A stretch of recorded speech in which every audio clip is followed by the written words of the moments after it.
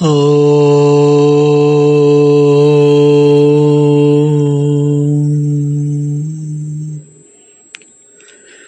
After the four sutras on Abhyasa and Vairagya, two on Abhyasa, two on Vairagya. In this particular sutra number 17, Maharshi Patanjali describes and discusses about the Samprajnata Samadhi. As we know that in the beginning, first two sutras, when we try to understand and define what is yoga, we said that yoga is not just joining, not just yoking. Yoga has to be taken in the meaning of the samadho.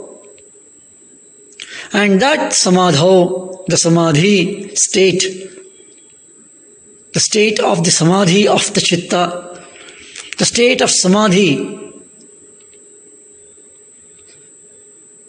on the way towards nirodha, prashantavahita, and that is the state is discussed, described, defined in this particular sutra. In this 17th, the discussion will be on Samprajnata Samadhi, and the next sutra, the 18, will be on the Asamprajnata Samadhi. Samprajnataha, it is Samprajnataha that which is completely known in all its details. Jnataha is one who knows everything. Just for understanding, somebody somebody travels to a particular place and reaches a place, or when he returns, he knows all the details of travel all the details of the place which he visited. And he knows everything of the entire journey. That knowing everything in detail, minute, then he is called as Jnataha. Samprajnataha, completely, without missing any minute detail. That is samprajnataha. That means, in this particular sutra, the hint and the discussion is that the consciousness, the mind, which is in the process of meditation, reaches somewhere a particular stage. And not only the word samprajnata hints or gives that meaning, just before that, the word anugama, anugamat, anugama is following, accompanied. Somebody follows somebody. Somebody accompanies somebody. Somebody accompanies something. That accompanying, following is called anugama, anugami, anugamat. That means this state of samprajnataha is accompanied, is followed after, accompanied by. That is the meaning it conveys. And it is accompanied after, accompanied by, followed by, followed after. The four stages the first stage is vitarka, the second is vichara, the third is ananda, and the fourth is asmita. These are the stages before the samprajnataha. If a person, a sadhaka, and the consciousness and the mind is in the state of samprajnata samadhi, it means it has gone through, it has passed through these four stages. And the first one is vitarka. Tarka is questioning. Vitarka is vinatarka, that is reasoning, rational thinking. Rational thinking of what? The rational thinking or the reasoning is as the chitta and the mind is going into a very deep stage, what was hidden, what was packed up, that starts coming out. It's like a pressure cooker or a pressure vessel. Once you remove or open the lid, what is inside starts coming out. While it is coming out, there is a necessity, there will be this faculty of vitarka which starts reasoning it, which needs to be reasoned about the direction, about the path, about the necessity. And that is the vitarka level. And as, as we understand, that tarka is the question and vichara follows, ananda comes, then the asmita. That's why samprajnata samadhi is that which is accompanied by reasoning reflection और rational then bliss and a sense of pure being that is the vitarka vichara ananda asmita anugamat samprajnata samprajnata samadhi is that which is accompanied by anugamat reasoning vitarka, vichara, deliberating, reflection, bliss, ananda, Asmita. Asmita is not ego, a pure being of ourself, a sense of pure being, our real nature. So this is the stages before that. So it is not a jump from one to the other. It is sequential, progressive movement sequential, progressive, serial nature is unfolding.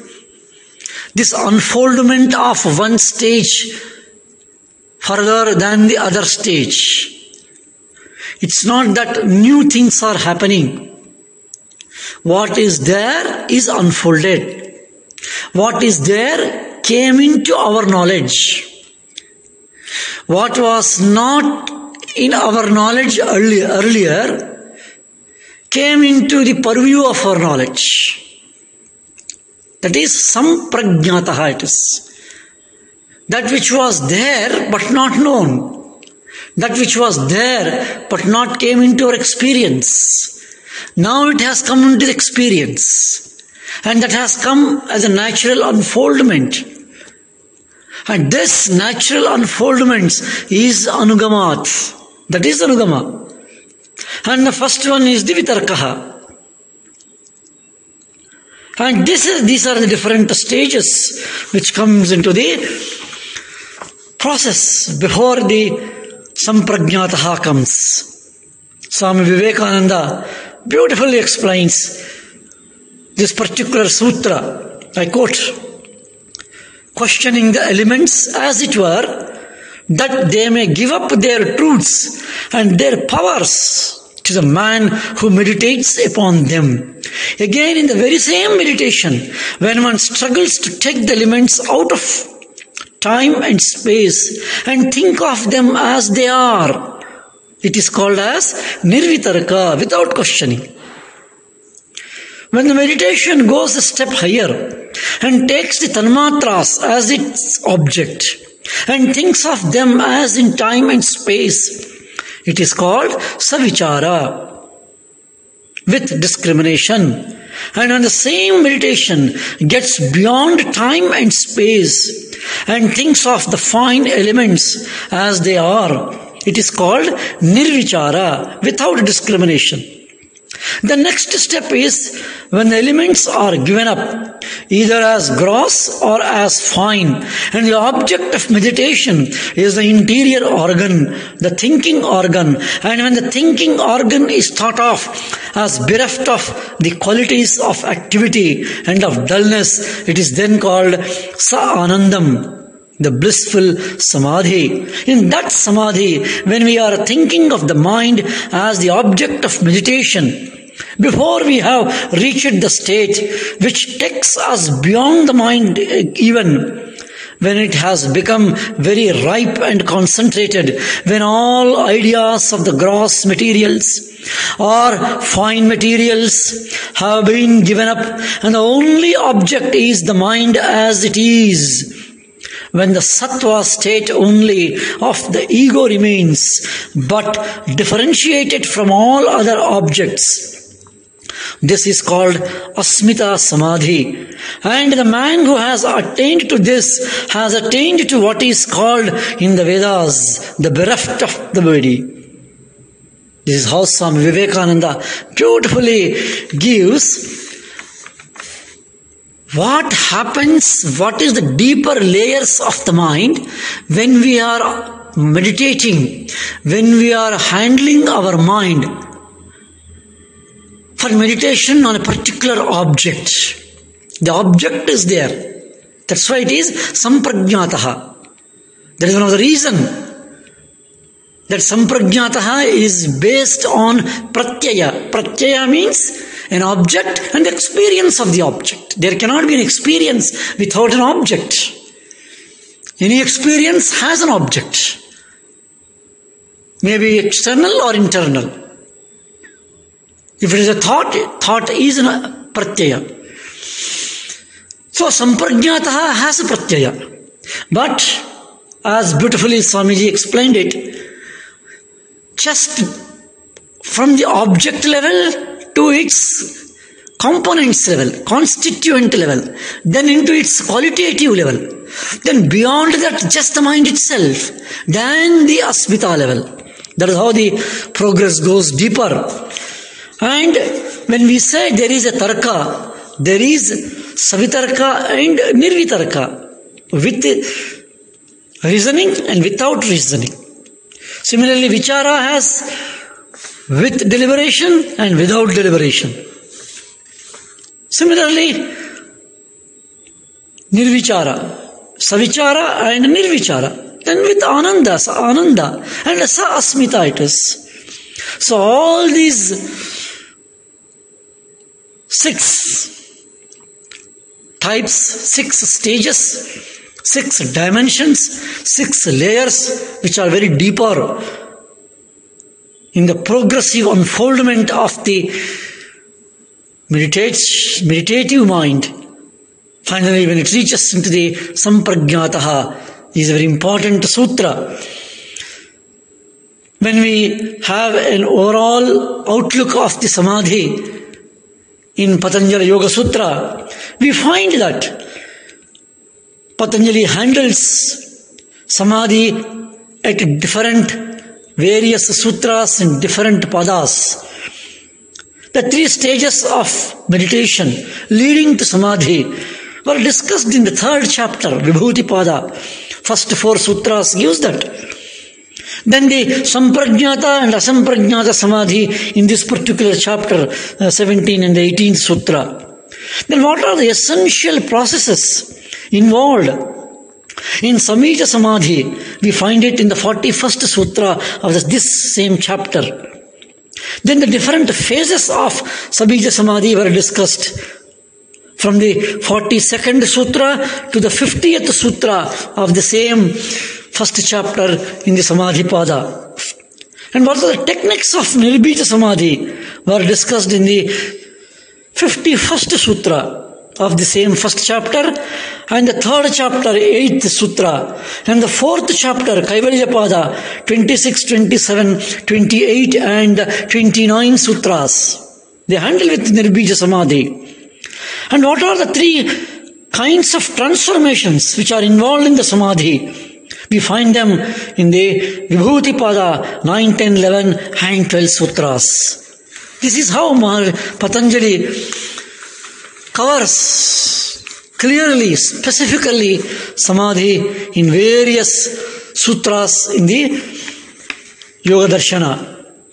And this particular sutra of the Samprajnata Samadhi, which we have seen, corresponds to the four stages of the gunas, about which we, we discuss again in the 19th sutra. And as it is said that Anugamat is associated or accompanied.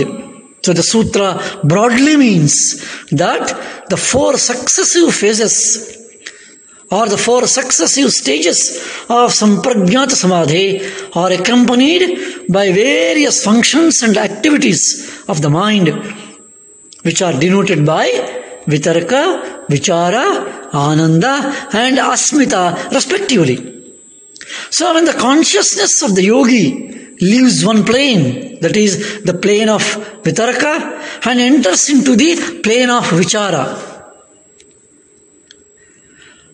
Pratyaya is there.